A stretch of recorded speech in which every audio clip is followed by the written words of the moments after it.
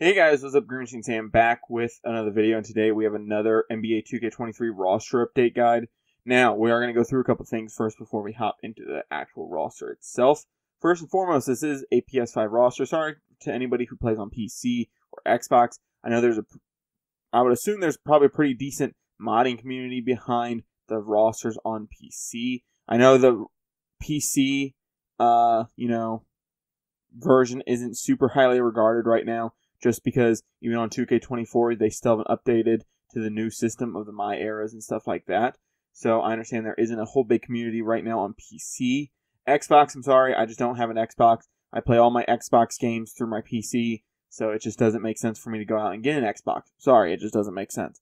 I do not have 2K23 for the PS4 version either, so I won't be doing the, those rosters either. Like I said, this is strictly a PS5 roster. I'm sorry to anybody that, you know, finds that unfortunate, but it's just the case, and it's something that I've been doing for a while. Any and all future 2Ks and any and all future Maddens will be on PS5 at minimum. Anything after that is extra, I will say. But let's get into some things. So, of course, with some trades happening over the last couple weeks leading up to the trade deadline here in a little bit, I think the All Star game's in a couple weeks, something like that. So, of course, there's going to be lots of trades. Now, I am making this video on Wednesday, the 31st, I think it is. Is it, is it the 31st? Yes. January 31st of 2024. So, if anything has happened after basically when I'm making this video, sorry, I will have the roster updated. It just won't be showing in this video. Now, of course, here's a couple things I do want to go over with that as well.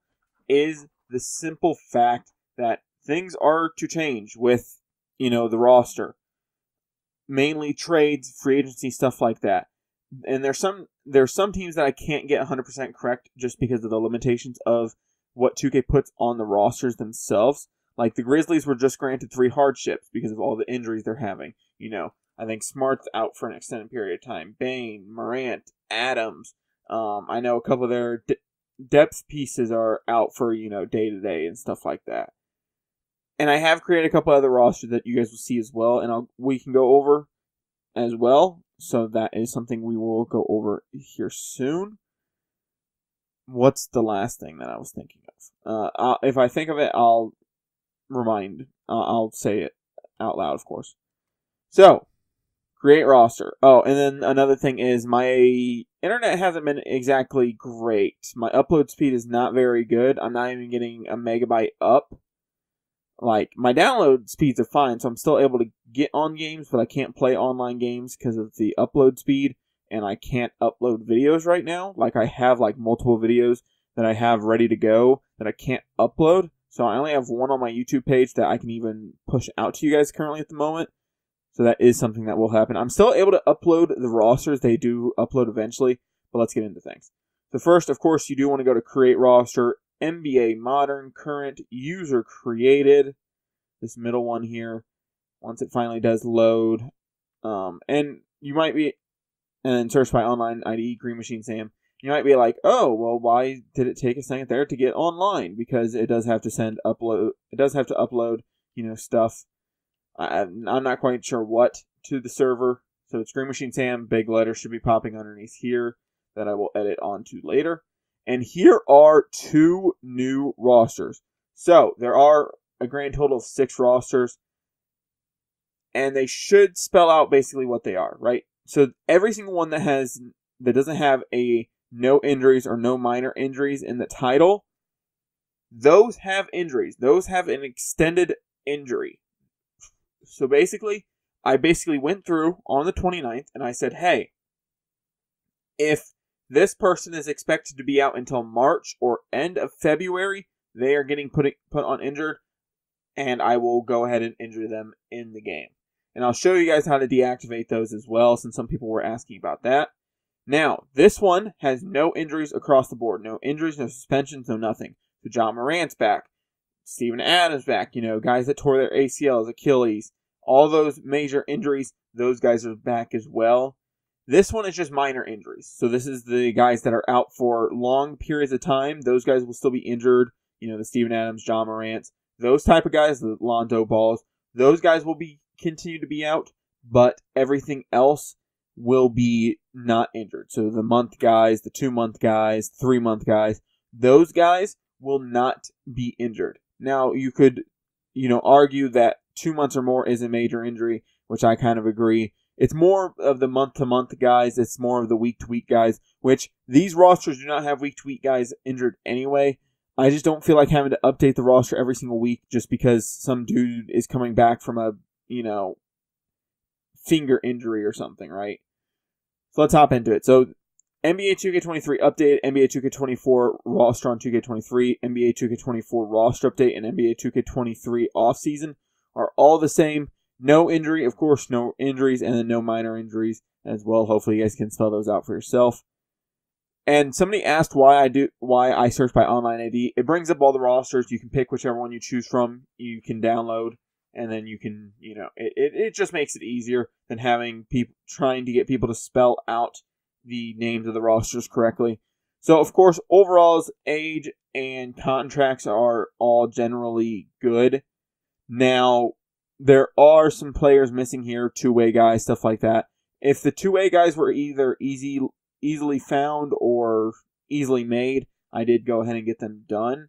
Some guys, I'm, it's just not really worth putting on, especially some of the Grizzly guys that they are picking up on the hardships. Those guys just don't make sense for me to do. I did go through and and guarantee that all jersey numbers are correct. There are actually two jersey numbers I cannot get correct for some reason. Uh, and it's not because multiple players are wearing the same jerseys or the jersey number hasn't been updated or stuff like that. Um, there are just reasons why, uh, and I'll show you those guys. Now, of course, like I said, age contracts, um, most players are correct. I still want to get one or two of the Bulls players done that are their like 14th and 15th guys, or no, it would be the 15th and 16th guys. But they're not super big concerns. I would assume you guys won't care if those guys are gone. It's more about the top 13, if anything. And like I said, injuries are here, so a lot of the guys are out right now in terms of the guys that are out for at least a month or so. I do, like I said, have ages, contracts, uh, overalls, all that fun stuff. Those are have all been updated for the most part. Positions aren't going to be entirely the same from 2K24 to 2K23 here mainly because some of the positions I move around just based on uh, rotation, stuff like that. Who can get the top 10 guys onto the floor, you know, stuff like that. So one of the jersey numbers is, of course, DeAndre Jordan. For some reason, you can just not change him to number six in the quick edits or in the edit player. So that is one that you will see that is incorrect. Another one is currently technically Kyle Lowry, as he is supposed to wear number seven but of course, one of the Hornets already wears number uh, seven. Uh, you know, Bryce McGowens. So, and with Kyle Lowry probably getting released and bought out by the Charlotte Hornets, I'd assume he won't end up paying for a jersey number. It says Terry Rozier online wears number two, but then in 2K24 on their official roster, he was wearing number 12. So that's why when you see in the screenshots that I've already taken from 2K24, that the that his jersey number will be technically cr- incorrect, which is weird. You know, 2K didn't even get his jersey number correct, or I don't know if he is wearing 12. I have no idea. Those are the couple guys that I can remember off the top of my head that don't have correct jersey numbers. I don't know why. You know, some of them it doesn't really matter all that much, but then others like DeAndre Jordan, who is going to actively be playing on his team, and I can't change his jersey number to jersey number six. I have no idea why that's the case, but it is like I said, the roster is really good. A lot of the guys are here. I've added some more important guys for you guys. If they're if they were on uh, 2K23's roster to begin with, I just had to probably update their age, their contracts, all that fun stuff, and change their overalls a little bit. But it's still a very good roster. If you're still playing 2K23 like I am, I've tried playing 2K24. I haven't particularly enjoyed it. Plus, I play a de- decent amount of my career. Well, not a decent amount. I play it sometimes when I get on 2K23 or I'm playing my eras, and whether it's maybe I already have a good my eras going or my my career's already pretty decent as I'm an 88 on there. You know, there's just multiple different things of why I haven't moved on to 2K24. I haven't liked the feeling as much. Who knows? Maybe the more I play it, the more I'm going to enjoy it. But as of right now, I'm still playing 2K23, so the roster will be even in better shape than I think 2K22 was. Now, of course, there is some stuff that people are concerned about. Contracts cannot be 100% just because of how the cap situation works in 2K and just various other reasons that I'm just not able to complete. I wish I were able to complete a lot of those because, of course, it would be better. It would create a more realistic approach. But, you know, if I'm giving somebody max money on 2K23, it's still going to count for max money when you go into the My Eras and play, right? So, the number isn't as important as the value in terms of the cap hit, in my opinion. Now, of course, you could argue against that and stuff. And somebody else asked, this was before the 2K22 servers got shut down, is it like, why is somebody's year wrong in their age? And I said, and I had to like explain like, well, I have to update their age, right? Because it's been a season, it's been two seasons, it's been whatever. So I I think it's more important for their age to actually be correct than their birth year when you're not going to really care about in the long run, right? I think that's something that somebody new to 2K or somebody new to roster updates might not understand as much is I'm going for a roster where you can play your my eras and it's going to feel correct. You're going to be able to play it and stuff is going to progress correctly, right? You don't need DeAndre Ayton being, you know, 23 years old or however old he would be if I didn't update his age. And a rookie comes out and is only a year younger than him and he's been in the league for four years or five years or whatever. You know, I think it's been four years. So there's all that. Um, I can't think of anything else. Hopefully, I can get this video out soon. Hopefully, my Wi-Fi speed is fixed here shortly. Like I said, my download speed is fine. Um, before anybody asks, yes, I've tried the basic stuff. If you guys are seeing this pretty, you know, uh, soon, yes, I've tried the basic stuff. I've turned tried turning it off for 30 seconds, a minute, five minutes, an hour, stuff like that. I've tried reconnecting the cables, all that fun stuff just nothing seems to be working. I'm trying to get my internet provider to like actually look, look at it on the back end and see if just something's wrong. Um, I have some other stuff that I'm gonna try later, but I just figured I'd record this video while I have the chance. Hopefully, get it edited uh, and all that fun stuff, and get, at least try to push it out. If it doesn't get pushed out, then whatever. But hopefully, you guys enjoyed this video or any of the videos here on my channel. Hopefully, this was a little bit of a longer uh, roster video, and I forgot to show you guys one thing, so we're just going to show you guys on LaMelo Ball, Lonzo Ball real quick. For people wondering how to get rid of injuries, there's one way, and this is the quickest way to do it. So first you want to quick edit, okay? It will be your little three line dashes across next to your triangle button. Click that. It will say you have activated the quick edit menu uh, mode when in quick edit mode, you can quickly and easily edit players' attributes, badges, all that fun stuff. And then press that to apply, and then press the same button to apply your changes. Now, this is where you can change, you know, ratings, tendencies is here, and how to get to this is you push triangle. If you push triangle, you can change what you're changing. So now I'm on uh, durability. Now I'm on badges. Now I'm on hot zones. Now I'm on information. And then for information, you want to go all the way over until you get to injury type and then scroll to, and it's all in alphabetical order for the most part. Some stuff is out of order for some reason. I don't know why. Like left, what, what was that? Left thigh cramps is for some reason in the T's instead of just being under the L's.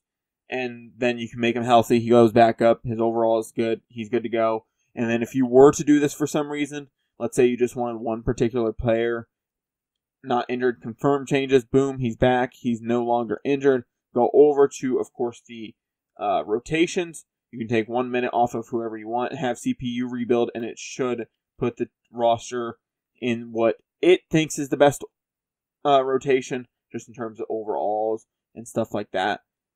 That's how you guys do that like I said, uh, don't forget to save the rosters, all that fun stuff if you guys want easy access to the rosters, especially when going in and creating my eras. This is a little bit longer of a 2K roster update guide. Hopefully you guys enjoyed it. I will have 2K24 roster updates coming out shortly, hopefully, depending on whether or not I feel like doing anything during the season. Like I've said in my Madden video, with new games, especially with 2K, they seem to handle a lot of their rosters pretty good, so there's no reason for me to update it because I'm just going to be using their overalls and stuff like that. And a lot of the stuff they get done relatively quickly. there is some stuff that they don't get done super quickly, but their rosters are still pretty good. Madden's are pretty good for the most part as well. So there's not a whole ton of updates that I make during the season, but once the season ends and the off season kicks in and a lot of the moves start to be made, I will go ahead and start updating 2K24 as well. So currently, there's only going to be, be one 2K in rotation. This happens every single year for about six months. Only one 2K is in rotation, so that will be 2K23. Like I said, hopefully you guys enjoyed this video or any other videos here on my channel. Hopefully you guys like any of the, my stuff and choose to stick around. I'd appreciate it. We're grinding. We're past 2,000 subs. I appreciate all the support that you guys have showed the channel over the last couple months. With that being said, guys, I'm out. Peace.